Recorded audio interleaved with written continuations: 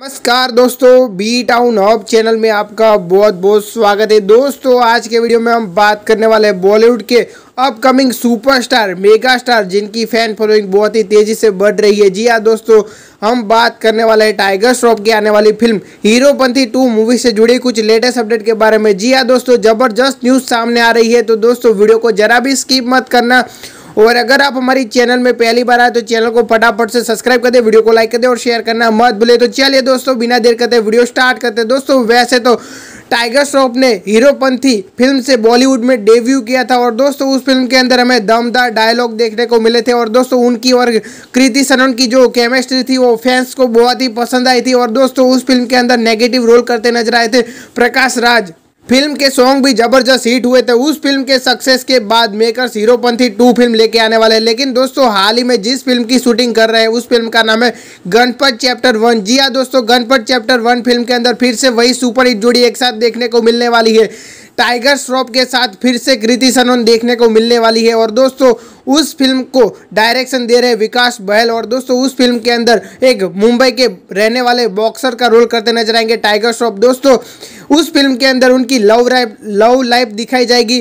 कैसे उनका स्ट्रगल दिखाया जाएगा कि वो कैसे आम आदमी से बॉक्सर बनते हैं इतने बड़े। और दोस्तों, उनकी वो जर्नी चैप्टर वन और चैप्टर टू फ़िल्म के अंदर दिखाई जाएगी। और दोस्तों, गणपत चैप्टर वन और गणपत चैप्टर टू के बीच में कम से कम दो साल का गैप रहेगा। अब दोस्तों, बात करते हैं हीरोपंथी टू फ़िल्म के बारे में। तो इस फ़िल्म के अंदर हमें टाइगर श्रॉफ के ऑपोजिट तारा सुतारिया देखने को मिलेगी। और ये जोड़ी इससे पहले हमें student of the year two film के अंदर देखने को मिली थी। और दोस्तों हीरोपंथी टू फ़िल्म के बारे में बात करें तो उस फ़िल्म के अंदर नेगेटिव रोल करते नज़र आएँगे। नवाजुद्दीन सिद्दीकी। नवाजुद्दीन सिद्दीकी इससे पहले की फ़िल्म के अंदर नेगेटिव रोल कर चुके हैं। और दोस्तों, वो बहुत ही बेहतरीन एक्टर है। उनको कई बार बेस्ट एक्टर का अवार्ड भी मिल चुका है। और दोस्तों, वो जो रोल करते हैं, उसके अंदर वो अपनी जान छिटक देते हैं।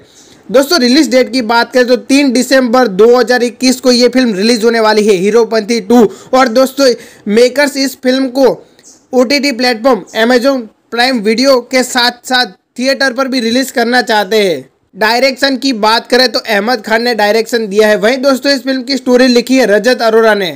अगर दोस्तों हीरोपंथी टू फ़िल्म के बजट के बारे में बात करें तो लगभग 70 से 80 करोड़ का इस फ़िल्म का बजट है। और दोस्तों ये भी एक एक्शन थ्रिलर फ़िल्म रहेगी, जिस फ़िल्म के अंदर हमें टाइगर श्रॉफ एक सीक्रेट एजेंट का रोल करते नज़र आएँगे, जिस तरह से उनका वॉर फ़िल्म के अंदर रोल था। कुछ इस तरह का रोल हमें हीरोपंथी टू फ़िल्म के अंदर भी देखने को मिलेगा। और दोस्तों दमदार डायलॉग डिलीवरी भी देखने को मिलेगी।